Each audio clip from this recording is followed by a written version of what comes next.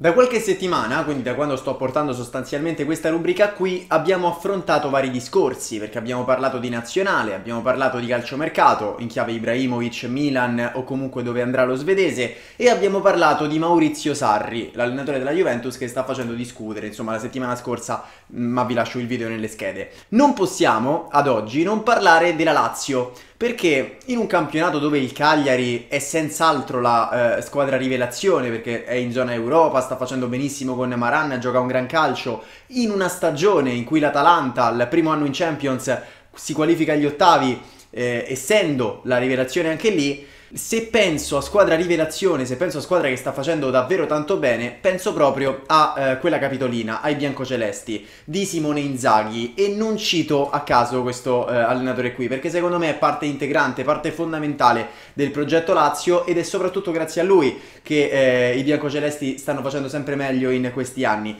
Prima di dirvi la mia però, vi invito subito a commentare il video qui sotto dicendomi la vostra, ma tanto su Instagram e ne approfitto anche per ricordarvi di seguirmi, vi ho chiesto di mandarmi un vostro messaggio vocale appunto con il parere sulla Lazio, su Simone Inzaghi eccetera eccetera. E allora partiamo con il mio pensiero e poi sentiamo il vostro. Aiutandomi con OneFootball che è la mia app di riferimento a 360 gradi sul mondo del calcio, vorrei un attimino andare a focalizzarmi sull'ultima partita che ha giocato la Lazio, ovvero quella eh, vinta a Cagliari al 98esimo. Guardiamo assieme la formazione. Stracoscia tra i pali e poi 3-5-2 con Acerbi, Felipe e Radu, Lucas Leiva perno a centrocampo con Milinkovic, Savic e Luis Alberto eh, da interni, gli esterni sono Lazzari e Lulic e le punte Immobile e Correa. Poi guardiamo anche la panchina perché in questa gara in particolare sono stati fondamentali i cambi, ad esempio Caicedo al posto di Radu, eh, ma anche Cataldi al posto di Lucas Leiva e Johnny al posto di Lulic. In panchina sono rimasti eh, Kissanga, Proto, eh, Adecanie, eh, Parolo, Anderson,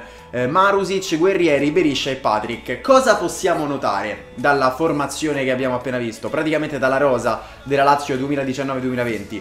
Io un po' di cose le noto, vediamo se ci arriviamo insieme. La prima è che la formazione titolare è quella della passata stagione sostanzialmente, ma forse anche di due anni fa. E quindi la chiave eh, la forza proprio della Lazio di Simone Inzaghi è l'intesa, come fossimo su Ultimate Team, su FIFA. L'intesa conta tantissimo nel calcio. Costruire pian pianino negli anni un progetto, una squadra, dei giocatori che ormai veramente giocano a memoria e quello conta tantissimo. A volte è più importante quello rispetto a comprare 10-15 giocatori, anzi può diventare controproducente fare troppo mercato eh, d'estate o, o d'inverno. Questo la Lazio lo sa bene, ci fa gioco anche lo Tito per una serie di motivi. Poi ci sono anche dei contro. I contro ad esempio è che eh, mentre leggevo la panchina, le riserve, alcuni giocatori non li conoscevo nemmeno e non credo di essere l'unico. Eh, il senso è che spesso eh, non vengono proprio utilizzati, motivo per cui Inzaghi è stato anche additato spesso, eh, non fa turnover di qua e di là, motivo per cui in Europa League si è sofferto un pochino forse addirittura volontariamente, nel senso che non era comunque la competizione di interesse e quindi si è deciso di non concentrarsi al 100% su quella coppa lì, al contrario di quella che può essere una Coppa Italia o comunque anche una zona Champions. Attualmente la Lazio in campionato è messa benissimo, aiutiamoci sempre con OneFootball e guardiamo un attimino la classifica della Serie A, perché l'Inter e la Juventus guidano a 39 punti, poi i biancocelesti sono a 36, a più 4 sulla Roma e, e poi via via tutte le altre. 36 punti, non solo 3 punti dalla vetta, ma soprattutto un terzo posto che in chiave realistica è il massimo a cui può ambire la Lazio quest'anno. È ovvio, in questo momento, ripeto, i punti della vetta sono tre, sarebbe facile farsi prendere dall'entusiasmo, pensare eh, a scudetto o, o altro. No, per, per, più motivi. Inter e Juve hanno rose superiori negli 11 titolari e nelle riserve e quindi è normale che a lungo andare con la stagione, con gli impegni che comunque ci saranno, perché la Lazio avrà anche la Coppa Italia, credo che meglio di così non riuscirà a fare. Forse anche peggio, nel senso che potrebbe scendere di una posizione. C'è un discorso continuità che va fatto e lì e lì la Lazio spesso ha stentato, almeno in questi anni, perché per una serie di motivi, veramente dal discorso rosa corta ha un problema mentale se vogliamo, nel senso che spesso abbiamo visto in alcuni periodi una squadra giocare a memoria, giocare molto bene, in altri periodi perdersi in un fazzoletto, perdere punti in modo sciocco, senza un motivo per poi arrivare a fine campionato e, e di base pentirsi, mangiarsi le mani eh, e altro. Ricapitolando, ad oggi secondo me la Lazio è una squadra che in territorio nazionale, quindi in Serie A, può fare davvero molto bene perché comunque negli 11 ha una una squadra eh, rodata, ehm, forte se vogliamo e quindi che può ambire quantomeno la zona Champions League. Ripeto, secondo me il, eh, il massimo, ma credo secondo la maggior parte di voi, tra poco sentiremo anche i vocali. E poi c'è un grande allenatore, c'è un grande allenatore che eh, nei suoi limiti, se vogliamo, ha quelli di far giocare sempre gli stessi, ma detto tra noi chi ci mette, nel senso che poi la, la, rosa è quella lì, l'abbiamo anche analizzata prima. Un allenatore che in estate si diceva poter essere anche vicino alla Juventus prima che arrivasse Sarri e a me non, non dispiaceva l'idea, nel senso analizzandola in modo oggettivo e obiettivo, pensavo che eh, Inzaghi potesse essere comunque un profilo interessante per la Juventus, per farvi capire la mia concezione di quell'allenatore lì. Poi ovviamente ognuno ha il suo pensiero e il vostro scrivetelo qui sotto nei commenti. Detto questo, telefono alla mano, chiudiamo Buon apriamo Instagram e sentiamo il vostro pensiero sulla Lazio. Partiamo da Cigni77 il trattino basso codice fiscale in pratica che credo sia un tifoso della Lazio, almeno da quello che eh, mi scrive poi sotto il messaggio vocale. Quindi sentiamo un po' il suo pensiero. Ma guarda Fede, io da, da laziale romano non posso Compaesano. che dirti che la Lazio deve andare in Champions. Non è la domanda non doveva essere dove può arrivare la Lazio, ma dove deve arrivare la Lazio. La Lazio quest'anno deve andare in Champions League, perché secondo me se non ci va quest'anno, che sta in una condizione stratosferica, non ci andrà mai più. Ah, proprio. Per quanto riguarda lo scudetto, sinceramente io neanche ci penso, anche se stiamo attualmente a meno 3 dal, dallo scudetto e pensare che se vincevamo contro, le, contro la SPAL che è una squadra di scappati di casa, Ma che quest'ora stavamo primi, però vabbè, pensiamo al futuro.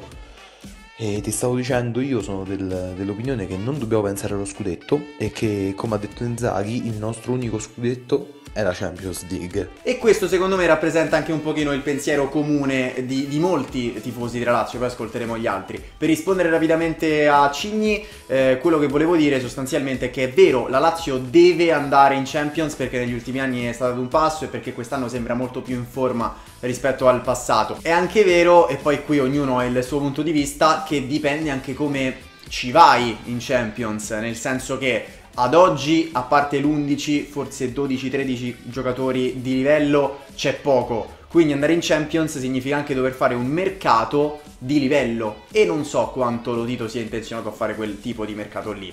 Perché la politica Lazio è sempre stata diversa, è, è oggettivo questo.